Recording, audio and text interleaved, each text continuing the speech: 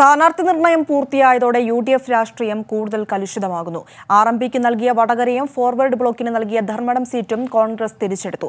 C P ജോണിന് ഇക്കുറിയും സുരക്ഷിത സീറ്റില്ല. U D എഫിലെ അനൈക്യം കൂടുതൽ വർദ്ധിപ്പിക്കുന്നതാണ് അന്തിമ പട്ടികയും അതിനെ തുടർന്നുള്ള ആശയക്കുഴപ്പവും. സ്ഥാനാർത്ഥി പട്ടിക പുറത്തു വരുമ്പോൾ യു ഡി എഫിന്റെ കെട്ടുറപ്പ് നിങ്ങൾക്ക് കാണാമെന്നായിരുന്നു കോൺഗ്രസ് നേതാക്കളുടെ അവകാശവാദം. എന്നാൽ അന്തിമ പട്ടിക വന്നപ്പോൾ കൂട്ട ആശയക്കുഴപ്പമാണ് മുന്നണിയിൽ.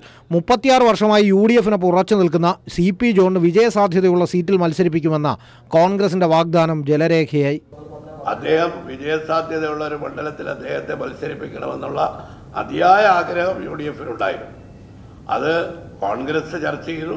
മുസ്ലിം ലീഗുമായിട്ട് കോൺഗ്രസ് ചർച്ച ചെയ്തു മുസ്ലിം ലീഗ് ആയിട്ട് ജോൺ ചർച്ച ചെയ്തു ഇതൊക്കെ ചർച്ചകൾ നടന്നു. സ്ഥാനാർത്ഥി പട്ടിക പുറത്തു വന്നതോടെ ആർ എം പി കോൺഗ്രസ് ബന്ധവും വഷളായി. ആർ എം പി സ്ഥാനാർത്ഥിയായി കണ്ടുവച്ചിരുന്ന വേണുവിന് വിജയസാധ്യതയില്ലെന്നും അതിനാൽ സീറ്റ് കോൺഗ്രസ് തിരിച്ചെടുക്കുന്നതായി എം എം ഹസൻ പറഞ്ഞു. അല്ല അങ്ങനെ ഉപാധിയോട് കൂടിയാണ് ഞങ്ങൾ തീരുമാനിച്ചത്. രമ രമയാണ് കൂടുതൽ വിജയസാധ്യത എന്നുള്ളത് കൊണ്ടാണ് രമ മത്സരിക്കണമെന്ന് പറഞ്ഞത്. മുഖ്യമന്ത്രിക്കെതിരെ മത്സരിക്കാൻ വിമുഖത അറിയിച്ചതോടെ ഫോർവേഡ് ബ്ലോക്കിന് അനുവദിച്ച ധർമ്മണം സീറ്റ് കോൺഗ്രസ് തിരിച്ചെടുത്തു. ജനതാദൾ ജോൺ വിഭാഗത്തിന് അനുവദിച്ച മലമ്പുഴ സീറ്റ് പ്രതിഷേധത്തെ തുടർന്ന് ഏറ്റെടുക്കേണ്ടി വന്നത് മറ്റൊരു തിരിച്ചടിയാണ്. ഏറ്റുമാനൂരിൽ സീറ്റിൽ ലതിക സുഭാഷ് മത്സരിക്കാൻ ഒരുങ്ങുന്നത് മറ്റൊരു തലവേദനയും.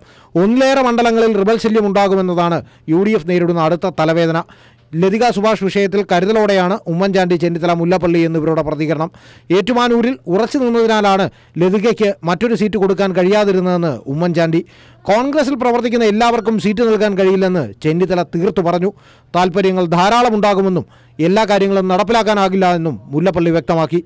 എന്നാൽ മുല്ലപ്പള്ളിയെ K P C C vice president Sooranad Rajasekharan കടുത്ത ഭാഷയിൽ വിമർശിച്ചു. പക്ഷേ അദ്ദേഹത്തിന്റെ പ്രതികരണം തെറ്റായിപ്പോയി എന്നാണ് എന്റെ അഭിപ്രായം.